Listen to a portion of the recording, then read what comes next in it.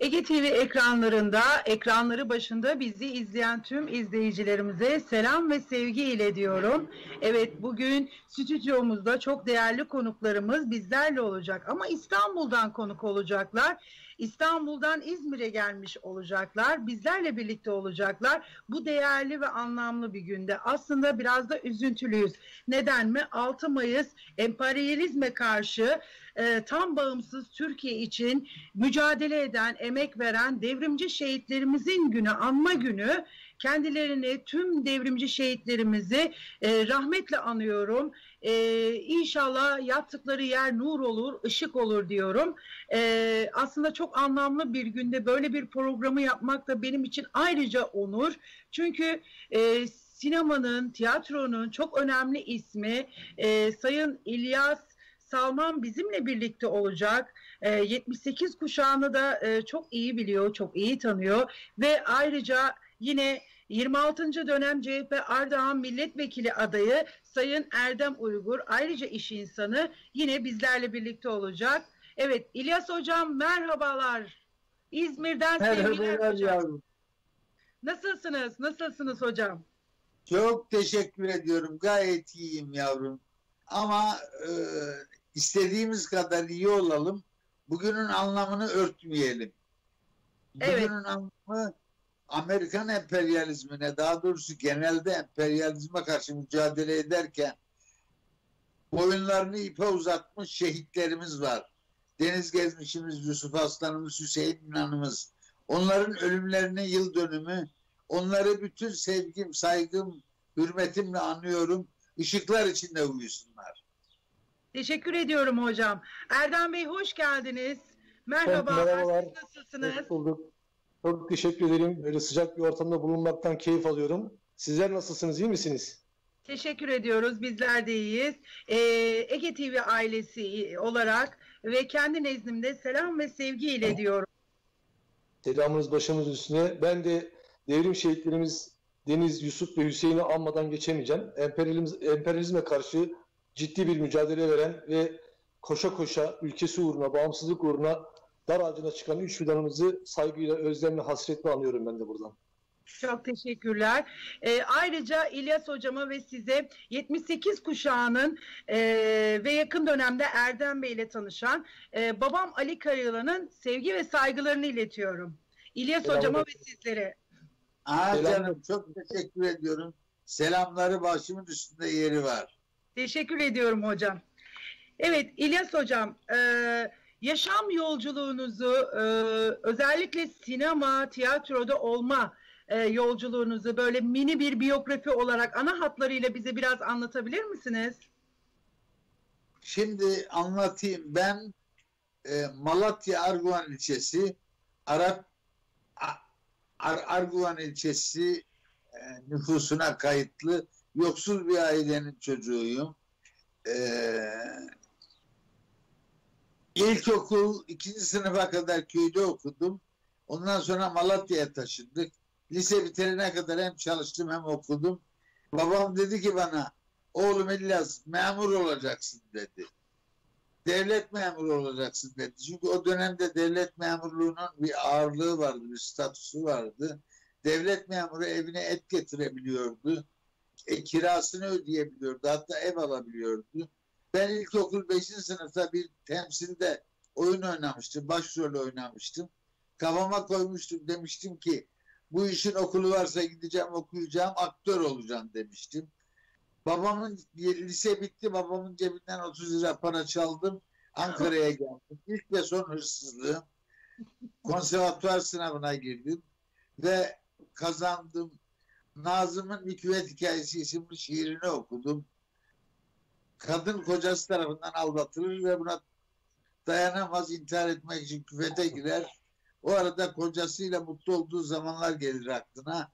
Ben hem kadını hem kocayı oynadım ve kazandım. E, konservatuvarda okudum. Son yılda bazı politik nedenlerden dolayı atıldım ama önemli değil. Ben ondan sonra şehir tiyatrosuna girdim. İstanbul Belediyesi şehir tiyatrosuna. Ee, ilk oyunumla en iyi yardımcı erkek oyuncu ödülünü aldım. Avni Dilligil ödülünü aldım. Sonra sinemaya çağırdılar. Ertem Eğilmez okuluna.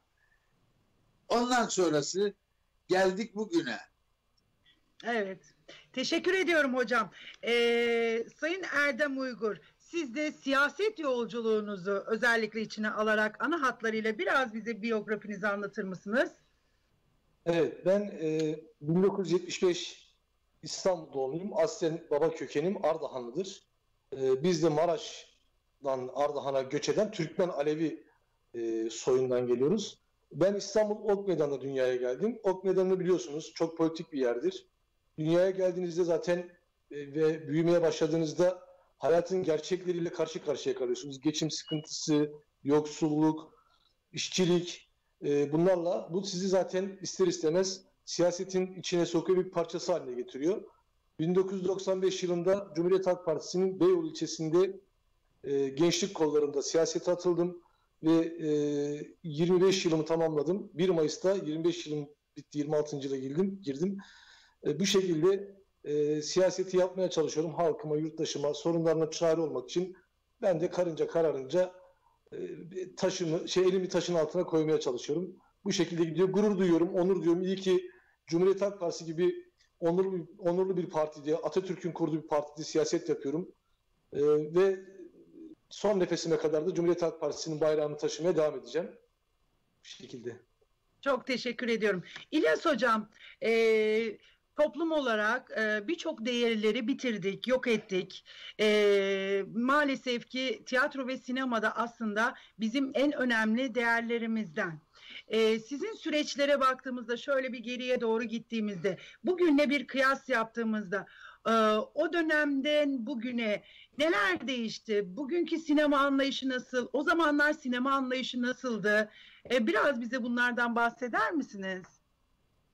Ha, şimdi şey var e, 1970'lerde 80'lerde tiyatro ve sinema hayatı anlatırdı. Hayatın bir kesitini anlatırdı. Acısını anlatırdı, tatlısını anlatırdı, sevincini anlatırdı, hüznünü anlatırdı. Yani hayat sanat hayattan kopuk değildi. Şimdi bir bakıyorsun bir film yapmışlar. Gaz çıkararak başlayıp gaz çıkararak bitiriyorlar. Ahlak sukut etti, subut etti demek daha doğru. Ee, şu anda yapılan ha, güzel şeyler de var. Bunu inkar etmiyorum. Mesela Nuri Bilge Ceylan olsun, e, Fatih Akın olsun. Şu anda ismini hatırlayamadığım birkaç yönetmen var. O yönetmenler sinemanın yüz akı durumundalar şu anda ama azınlıktalar. Bizim dönemimizde Atıf Yılmaz vardı, Ertem Eğilmez vardı ki ben Ertem Eğilmez okulundan gelmeyim. Sanat hayatın kendisi değildi ama gibisiydi o zaman. Hayatın damarlarına dokunuyordu ve hayattan besleniyordu. Şimdi sanat hayatın dışına çıktı. Dediğim gibi hep belden aşağı e, ahlaksızlık diz boyu. Bunu açıklıkla söyleyeceğim. E,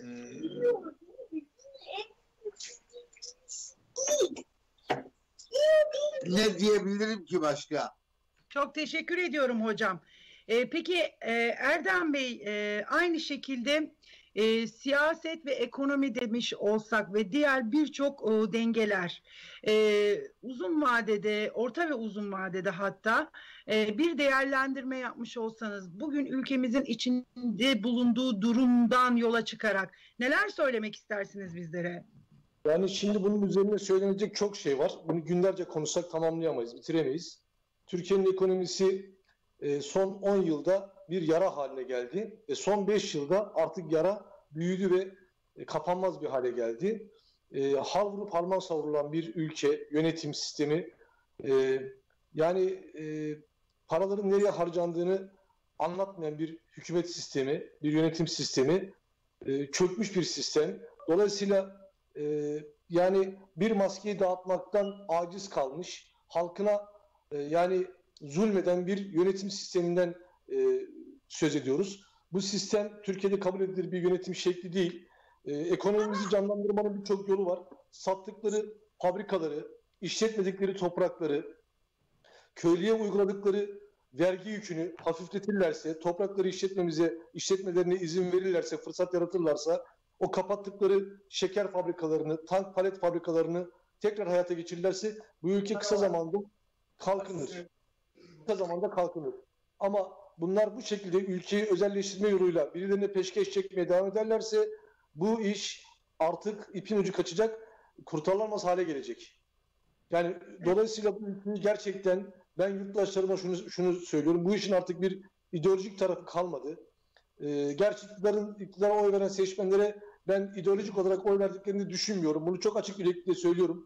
Ee, artık ülkenin gerçekten vatansever partileri bu ülkede gerçekten çalmadan, çırpmadan, yatağa aç çocukların yatmadığı bir ülke düşünen partilerin yönetmesi gerektiğini düşünüyorum. Ben de bunun yolunun benim siyaset yaptığım partide bunun yolunun olabileceğini, açık olduğunu düşünüyorum. Ben vatandaşıma şunu söylüyorum. Sokakta, sahada, her yerde bizi bir deneyin. Beş yıl bize müsaade edin. Bakın e, yerel yönetimlerde iktidarız. Ne kadar güzel işler yapıyoruz. İktidar yapamadığı işleri yerel belediyelerimiz yapıyor. Çok başarılı işler yapıyor. Bizi bir de iktidarda görün. Bir de iktidarda deneyin bizi. Bakın bu ülke tekrar o fabrika ayarlarına nasıl dönüyor. Bütün halkımız buna şahit olsun. Evet, çok teşekkür ediyorum. Şimdi izleyicilerimize e, bir sürprizimiz olacak.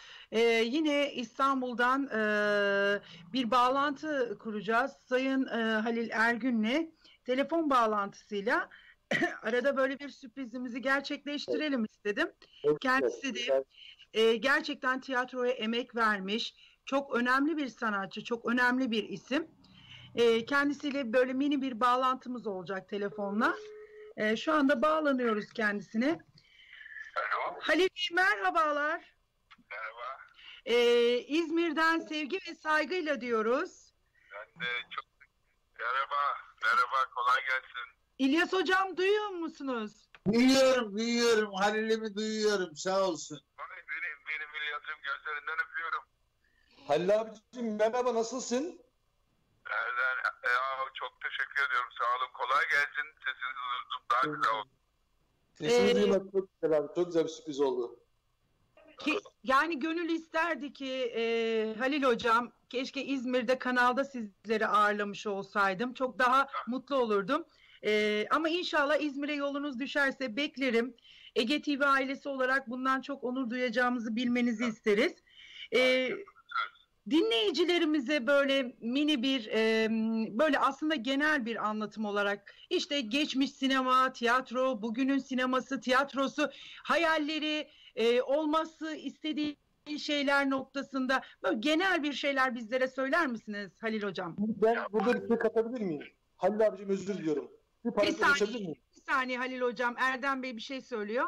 Şimdi Halil Bey de İlyas abi de Halil abi de İlyas abi de Türk sinemasına ciddi emek vermiş. Halkın yaşam biçimini, daha çok Anadolu insanının yaşam biçimini, çektiği çileleri ekranlara, sinemaya taşıyan isimlerdir. Çok önemli iki isim buluştu bu arada. Halil abi ve İlyas abi Türk sinemasının geçmişiyle bugünkü, geçmişteki önemini, bugünkü ihtiyacını aslında e, anlatırsanız daha güzel olur bence. Saygılar. Tamam. Şimdi zaten biraz öyle değinmek istedim ben çünkü ülkemiz e, şu anda bu Türkiye memleketimiz yani e, bir bana göre döneminde yani Cumhuriyet'in kazanımlarının e, ağır biçimde tahrip edildiğini bir e, ülkede bir çözülmenin, bir dökülmenin yaşandığı korkusunu taşıyorum ve bunların nasıl tahmin edileceği konusunda da yine ülkenin dinamik işlerine, ülkenin sanatçılarına, kültür insanlarına, bilim insanlarına ihtiyacı olduğunların hayatı üretme noktasında bu işlerin yol alabileceğini düşünüyorum. Sinemadan bahsetmek isterim. Ben e, 74 yılında başladım sinemaya, tiyatrodan sonra. Evet.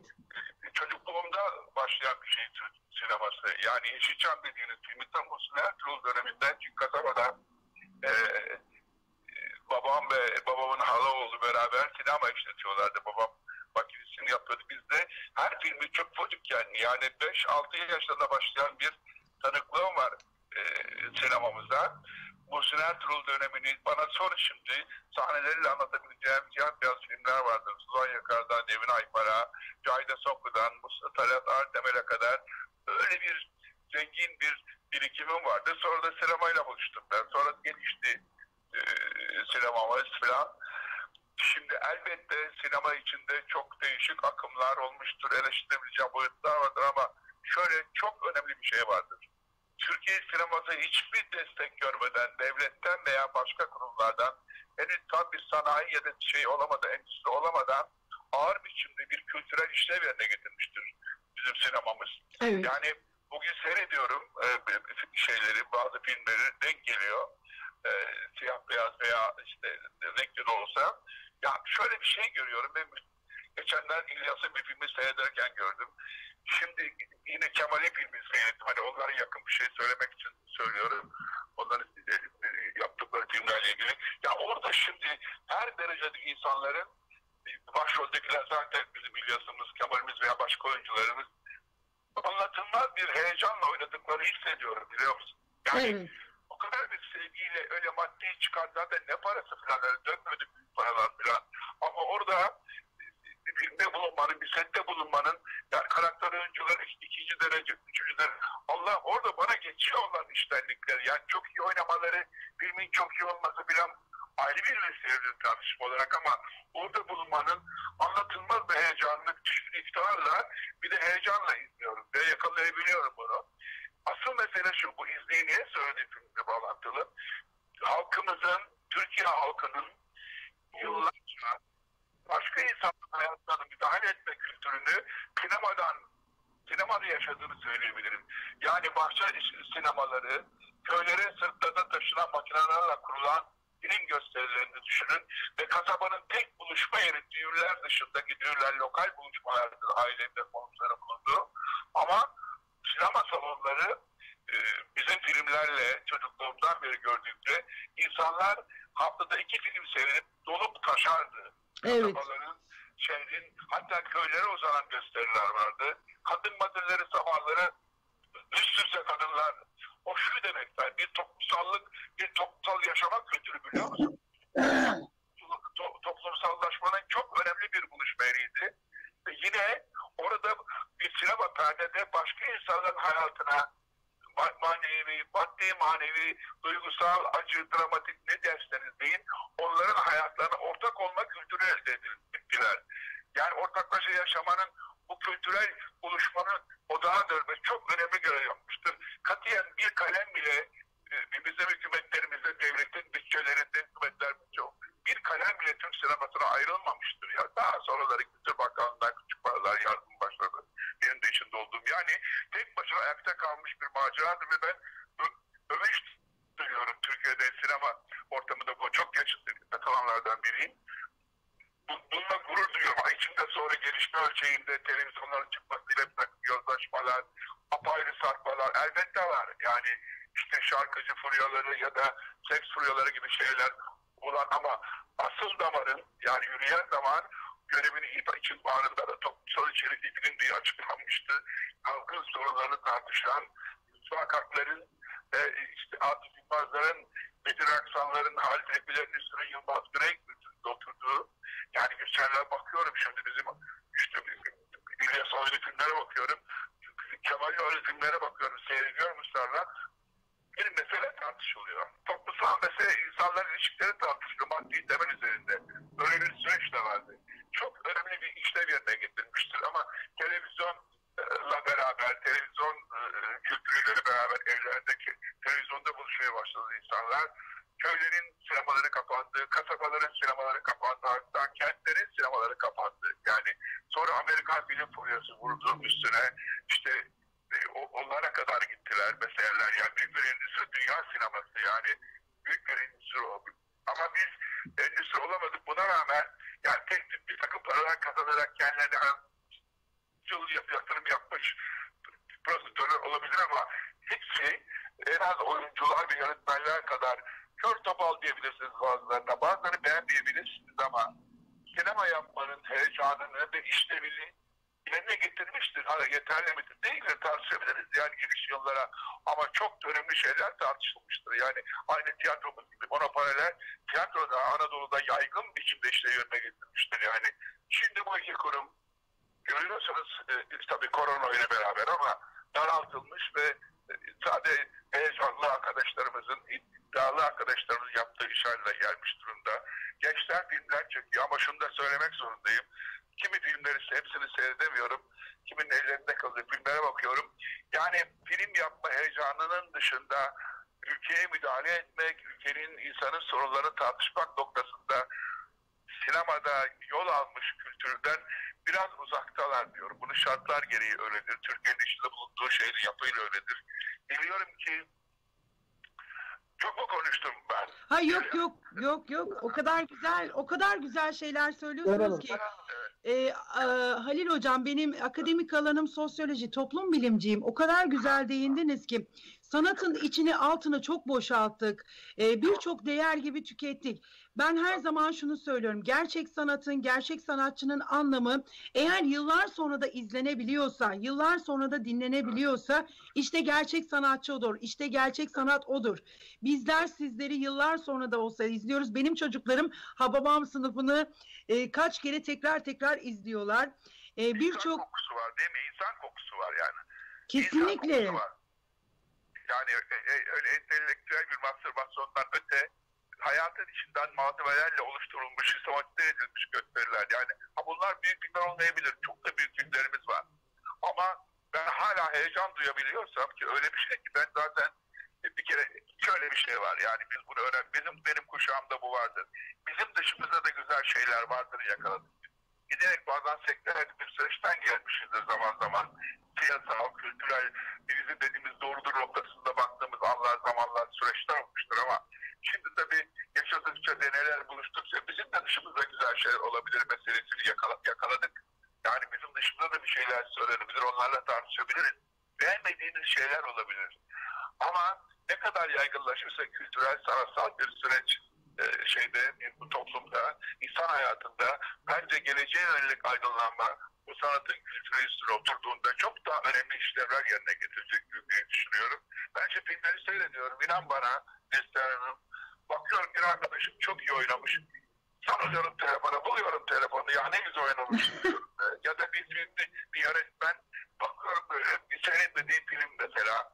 Aman ya bakıyorum Ab- amca geçen hafta şehirlere telefon ettim. Yok şaşır seyretmemiştim. Abuk sabuk film diye adı. Adı abuk sabuk film. evet. Ama galiba Kemal oynuyor. Evet. Ama baktım. Ya ne kadar cesur bir deneme. Yani ne güzel şeyler olmuş bu ülkede zamanında diye düşündüm. İşte İlyas da çok iyi yaşadığı, çalıştığı filmlerin renklerinde bizim işimizi. Yani bir tarafıyla işte çok karıştı ama e, iyi ki yaşadım diye biliyorum sinemada. Kahrım yok muydu? Olmaz olur muyum? Ya olur mu? Ne diyorsunuz? Ben izleye gidip geliyordum. Yani otelde kala ev tutma, ev bile tutamıyordum mesela. Hani çünkü evin gerekleri olur diye. Yakın ya İznik benim gelip gitmelerle. Evet. İşte Yalova'ya minibüsle gelip oradan işte şey atlayıp e, vapura Yalova'dan gel, gelirdik kalırdık arkadaşlarımı görürdüm. Film olunca filme gelirdim falan. Bu heyecanlarla yaşadık. Bir heyecandı. Şimdi gençler tabii bir tarafıyla e, çok yalnızlar. Hani kendilerine alan bulma konusunda, destek bulma konusunda çünkü Allah bullak bir dönemden geçiyoruz zaten. Bir de bu televizyon kültürleridir. Bir de işte bu dijital dediğimiz benim çok fazla kavrayamadığım hala e, alışkanlığını beceremediğim bir şey. E, Çok zor işleri ama buna yaratıcı eylem, yaratacaklarına inanıyorum kültür ve sinema konusunda. Çok teşekkür ediyorum Halil Hocam. İnşallah sizinle de bir tamam. gün bir yayın gerçekleştiririz. Erdem Bey bir şey söylemek istiyor. Ee, şöyle Halil Bey'le, Halil abimle ben 99 yılında Halil abi bizim Beyoğlu'ndan belediye başkan adayımızdı. Ben gençlik kollarındaydım. O yıllardan tanışıklığımız gelir. Ben sinema dışında Halil abinin siyasette de çok önemli fikirler ürettiğini ve çok iyi kılavuzluk yaptığını biliyorum. Bana daha çok böyle. Nerede aklımız tıkanırsa Halil abi arardık. Abi böyle mi olsun şöyle mi olsun? O yavrum şöyle yapın, kardeşim böyle yapın derdi. Bize de ciddi anlamda kılavuzluk yapmıştır. Bu anlamda da kendisine çok teşekkür ediyorum. İnşallah dostluğumuz, abi kardeşliğimiz uzun süre daha devam eder. Canım gözlerine ellerinden öpüyorum. Ee. Yusuf'un gözlerinden öpüyorum. İlyas hocam, e, Halil size söylüyor. Ha canım benim. Halit'im o kadar güzel anlattı ki sinemamızı ve hayatımızı. Üstüne söyleyecek söz bulamıyorum. Canım, Teşekkür ediyorum Halil abi diyeceğim. Çok Ben teşekkür ediyorum Halil Bey tekrardan. ben de teşekkür ediyorum beni aradığınız için. Tamam Görüşmek dileğiyle diyorum. Ee, iyi, iyi ki yaptınız. İyi ki bu kadar güzel şeyler ürettiniz bu ülke için, bizler için. Çok çok teşekkür ediyorum. Ben de teşekkür Görüşmek Tamam, dileğiyle. Sağ olun. Evet, e, devam ediyoruz. İlyas Hocam, peki e, birçok e, tecrübeler, birçok deneyimler, düştünüz, kalktınız, sıkıntılar yaşadınız. E, şimdi sinemanın, tiyatronun içinde bulunan gençlerimize e, yaşadığınız bütün tecrübelerin ışığında bizim kuşağımıza neler söylemek istersiniz? Bizim kuşağımıza yani günümüz kuşağına söyleyeceğim birkaç söz var aslında. Bir kere hayattan uzaklaşmasınlar. Haya- hayatı kendilerine akraba edinsinler ve öyle yaşasınlar diyorum. Şimdi yolda gördüğüm insanlar bana diyorlar ki Yeşilçam öldü mü ne yaptınız? Nasıl gidiyor filan diyorlar. Diyorum ki bir ülkede bir iş alanı tek başına ölmez. Bir ülkede siyasa, spor, sanat, sanayi birlikte ölür. Ve ülkeyi birlikte öldürmeye çalışıyorlar. Mevcut yönetimler, iktidarlar filan.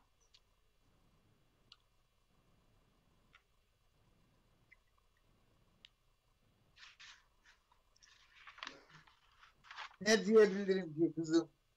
Bugün halkın karşı, karşısında hesap verecek bir iktidar dururken halktan hesap soran iktidar var. Evet, evet. Çok teşekkür ediyorum hocam. Peki Erdem Bey, e, adaylığınızı Ardahan'dan e, tercih ettiniz. Neden Ardahan? Ve bundan sonraki siyasi yolculuğunuz e, devam edecek mi? Neler olabilecek? Biraz bahsedebilir misiniz? O dönem şöyle oldu. Ee, ben İstanbul'da siyaset yapan birisiyim. Ee, Ardahan'da biz 2015 e, Haziran seçimlerinde sandalyemizi kaybetmiştik. Yani bir tanesi Hakların Demokratik Partisi'ne gitmişti. Bir tanesi de şu an mevcut olan İktidar Partisi'ne gitmişti. Ee, dolayısıyla ben e, Alevi kökenli birisiyim. Ee, bizim e, Damal diye bir ilçemiz var ve Göle diye bir ilçemiz var. Orası e, biraz daha Ardahan'da siyasetin yönünü belirleyen bir ya da Cumhuriyet Halk Partisi'nin oylarını e, dönüştüren bir ilçeler bunlar. Ben e, anne tarafından Damallıyım, baba tarafından da e, Göleliyim. Babamın bu bağlı bulunduğu ilçe Ardahan'ın Göle kazası. E, tabii o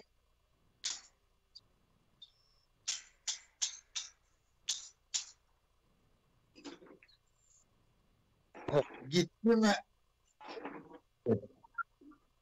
Evet, gitmiyordum. evet, o Erdem, dönem yapılan hesaplarla sesim geliyor mu? Evet, şu an geliyor. o dönem yapılan hesaplarla e, biz orada e, tekrar bir e, pa- şey e, ne derler ona e, milletvekili sandalyemizi tekrar alabileceğimizi düşündük. Yani Alevi oylarının tekrar bir araya toparlanıp Cumhuriyet Halk Partisi'nin orada bir milletvekili çıkartacağı hesabını yaptık. Ben o dönem ikinci sıradaydım.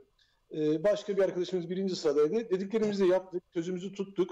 Orada bir milletvekili çıkarttık ama e, sonunda e, milletvekilimiz herkes biliyor gündemde yapamadı onu. Ardahan çok politik bir yer. Ardahan e, Cumhuriyet Halk Partisi'nde Ardahanlılar e, çok yüksek sayıda. Çünkü orası e, 1980 ve öncesinde ciddi bir bedel ödemiş bir yer.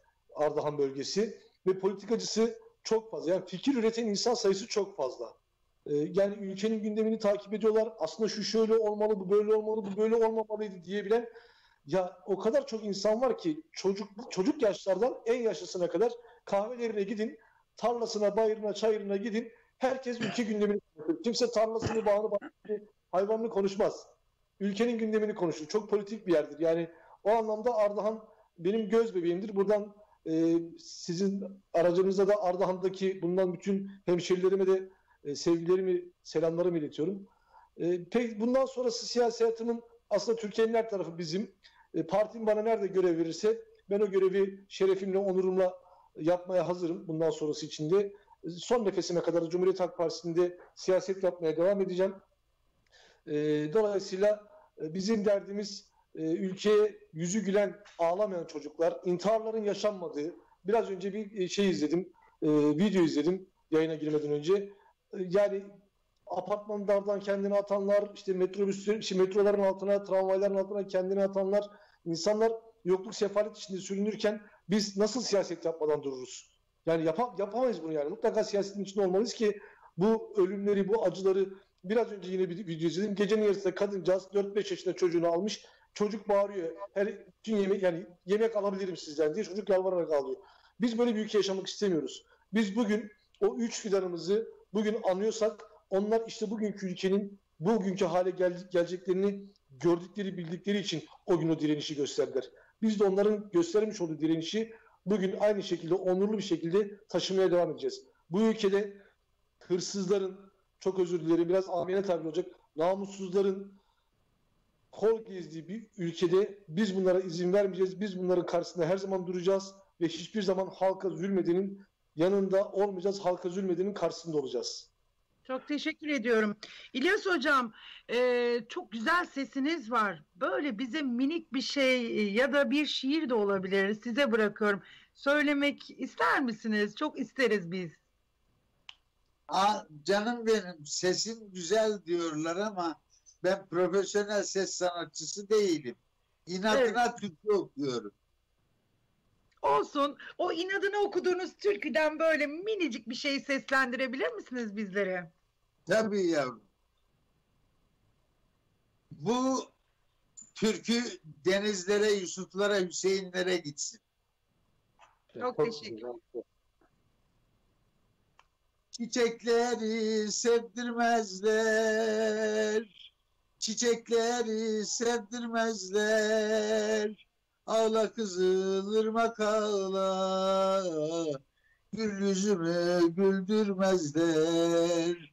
Ağla kızıl ırmak ağla, çağla kızıl ırmak çağla.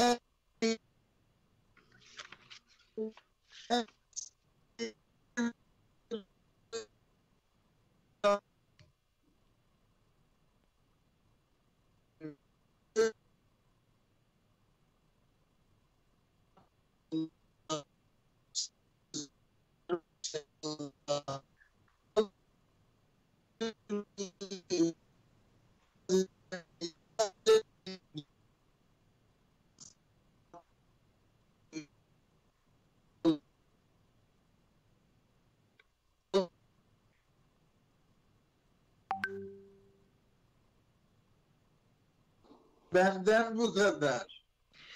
Çok teşekkür ediyorum. Ağzınıza sağlık, yüreğinize sağlık. Bizleri kırmadınız hocam. Ee, ayrıca bizleri kırmadınız.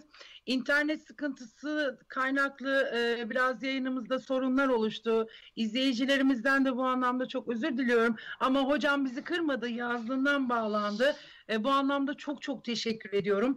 Bizleri bir araya getiren Halil Ergün'le, Sayın İlyas Hocam'la, Sayın İl Halil Hocam'la e, bir araya getiren e, Sayın Erdem Uygur'a da ayrıca teşekkür ediyorum. Eklemek istediğiniz başka bir şey var mıdır hocam programı kapatmadan? Programı kapatmadan isterseniz bir şiir okuyayım. Lütfen, lütfen tabii ki hocam. Bir dakika boğazım kurudu kahvemden içeyim de. tabii ki. Bakmayın 50 yıla yakındır soytarılık yapıyorum bu, bu ülkede ama her konuda çok heyecanlı adamımdır. Bugün bu programı yapmak için sandalyeye oturduğumda dilim dilime dolaştı. Ne anlatacağımı şaşırdım açıkçası. Çünkü bir halkın karşısına çıkıyorsun. Eğer heyecanını yitirmişsen senden adam olmaz diye düşünüyorum. Heyecan mutlaka şart ama benimki kadar değil. Teşekkürler hocam. Kardeş, senin dediklerin yok. Hala çekilen toprak bu toprak değil. Çık hele Anadolu'ya. Kamyonlarla gel. Kanalarla gel gayri o kadar uzak değil. Çamı bitmiş. Kava azalmış. Gamla örtülü bayırlar çıplak değil. Yedi ay kıştan sonra yeşeren senin yaşamındır yaprak değil. Yersin içersin sofrasından 300 senedir. Kuvvetlisin ama kuvvet hak değil. Bakımsızlıklarla göçüp bitmiş bir cihan. Mevsimler soğumuş. Sular azalmış. Buğday Selçuklilerden kalan başak değil. Parça parça yaralmış öküz ardında. Parmağı üç fare, tırnağı ak değil. Korkarsın yakından görsen. Utanır elin ayağın. Eli el değil, ayağı ayak değil. Gün açar, tarla kuşları uçuşurlar. Ağır bir aydınlık, bildiğin şafak değil. Dertle, sefaletle yüklü. Siyah leşlerle kararmış berrak değil. Çağlayan ne? Akan kim? Kızılırmak değil. Öyle dalmış ki yüzyıllar süren uykusuna uyandırmazsan uyanacak değil. Çok teşekkür ediyorum hocam. Çok çok teşekkür ediyorum. Ağzınıza, yüreğinize sağlık. Tekrar tekrar e, yine söylüyorum bu değerli zamanınızı orada e, e, yaratmaya çalıştınız. E, bize bu imkanı sundunuz. Çok teşekkür ediyorum. Ama çok ilkel yöntemlerle ulaşmaya çalıştık size. Buraya Evet. süresi koyduk. Televiz telefonun üstüne yerleştirdik. Saatlerce uğraştık ancak yan yana gelebildik. Neslihan Hanım ben şimdi şöyle bir şey anlatayım. Buyurun Erdem Bey. Ee, biz İlyas abiyle çok sık bir araya geliyoruz. Ben İlyas abiye şöyle bir teklifte bulundum. Buradan da onun müjdesini verelim İlyas abicim müsaadenle. Ee, yıllarca, yıllarca sinemaya emek verdin. Abi dedim biraz da Cumhuriyet Halk Partisi'ne emek ver. Nasıl olacak o iş dedi. Dedim senin bizimle beraber Cumhuriyet Halk Partisi'nde yıllarca oy verdin Cumhuriyet Halk Partisi'ne. Bu sefer de oy verilen ol. Gel Cumhuriyet Halk Partisi'nde milletvekili ol dedim. Böyle bir teklifte bulundum. Abim de kırmadı. Olur mu dedi. Çok da güzel olur dedim. İnşallah önümüzdeki dönemde İlyas abiyi Cumhuriyet Halk Partisi'nin saflarında bir milletvekili olarak meclise göreceğiz. Ee, sinemada halkın sorunlarını dile getirdiği gibi mecliste de halkın sorunlarını çözme olanağı bulmuş olacak. Halkın sorunlarını dile getirme olanağı bulacak. Ee, bu, bu müjdeyi buradan vermiş olalım. Sevgili abim. Aa canım çok teşekkür ediyorum. Olursa senin sayende olacak Erdem Bey. Rica ederim. Olur mu öyle şey? Sen bizim için baş tacısın, bir onursun bizim için. Şimdi Neslihan Hanım ben de e, program kapanacak. Son sözlerimi söyleyeyim müsaadenizle. Duyabiliyor musunuz beni? Duyuyoruz ben duyuyorum. Ha, Neslihan Hanım yayında değil galiba. Şimdi giriyor. Şimdi ülkede maalesef son günlerde e, çok zor günler yaşıyoruz. Çok zor e, durumlar yaşıyoruz. İşte bu pandemiden dolayı, koronavirüsünden dolayı çok sevdiğimiz dostlarımız, arkadaşlarımız, aile bireylerimiz, yakın akrabalarımız göçüp gittiler koronavirüs belasından dolayı. E, Ben bunu bu koronavirüsü e, virüs belası ilk çıktığı dönemde dile getirdim. Biz bunu dayanışmayla, yardımlaşmayla, hijyen kurallarına uyarak minimize edebilirdik. Ama bizim halkımız nedense e, bir tabir vardır bizim Anadolu'da. Dediğim dedik, çaldığım düdük derler ya. Nedense kendi bildiklerini yaptılar ve bugün hala bu işin zorluklarını çekiyoruz. Eğer biz bu süreci sağlıklı işletemezsek, sağlıklı götüremezsek e, vatandaş bu işin üstesinden geleceğine inanıyorum. Yani zaten hükümet bu işte sınıfta kaldı. Vatandaş eğer kendi e, hijyen kurallarına uymazsa, kendisi kendisini korumazsa bu iş hayatımızda bu koronavirüs be- belası hayatımızı biraz daha oyalayacak gibi gözüküyor. biraz daha gündemimizi meşgul edecek gibi gözüküyor. Dolayısıyla e, ben burada e, yurttaşlarıma şu mesajı vermek istiyorum. Evet. Lütfen e, lütfen hijyen hijyen kurallarına uyalım. Lütfen e, sosyal mesafe kurallarına uyalım. Maskesiz sokağa çıkmayalım. Dayanışma kültürümüzü yaşatalım. Yani insanlarımız şu anda bir yıldan beri, bir buçuk yıldan beri para kazanamıyorlar. İşsizlik aldı başını gidiyor. Dayanışma kültürünü yaşatarak birbirimizin olan olmayana vererek e, yardımlaşarak bu işin üstesinden gelebiliriz. E, ülkenin bu sıkıntılı dönemlerini hep birlikte taşıyacağımıza inanıyorum ben. E, bu arada yakın zamanda 23 Nisan'ı atladık. E, iki gün önce Nevruz'du. 23 Nisan e, dolayısıyla çocuklarımızın da 23 Nisan Ulusal Egemenlik ve Çocuk Bayramı'nı kutluyorum. Nevruz Bayramı'nı kutluyorum. Hıdır Elliz'i kutluyorum. E, bütün yurttaşlarıma e, ve ülkeme kutlu olsun diliyorum. E, Televizyon programı çekiyorum. Evet. Ben buradan Ege TV çalışanlarına aktüel bakış programını yap- yapıp sunan bütün arkadaşlarıma kucak dolusu sevgilerimi gönderiyorum. İnşallah daha sağlıklı günlerde, daha özgür günlerde, daha zengin günlerde buluşmak için çaba sarf edelim ve o zamana gelelim. Hepinizi güzel yüreğinizden öpüyorum. Çok teşekkür ederiz. İlyas Hocam var mı sizin eklemek istediğiniz bir şey? Eklemek istediğim şu, onurlu ve uzunlu yaş uzun yaşasınlar. Ömürleri bitmeden umurları, umutları bitmesin. Çok Eyvallah. Teşekkür ediyorum.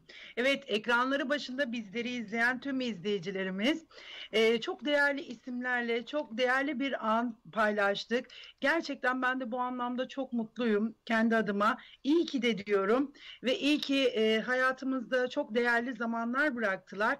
E, bu anlamda Sayın Halil Ergün'e, Sayın İlyas Salman'a e, çok çok teşekkür ediyorum. Bizleri bugün bir araya getiren e, Sayın Erdem Uygur'a ayrıca teşekkür ediyorum. Ege TV ailesi olarak e, ve kendi nezdimde bir dahaki programda birlikte olmak ümidiyle diyorum. Gönlünüzden sevgi, yüzünüzden gülücük eksik olmasın. Görüşmek dileğiyle. Selamlar. Selamlar efendim.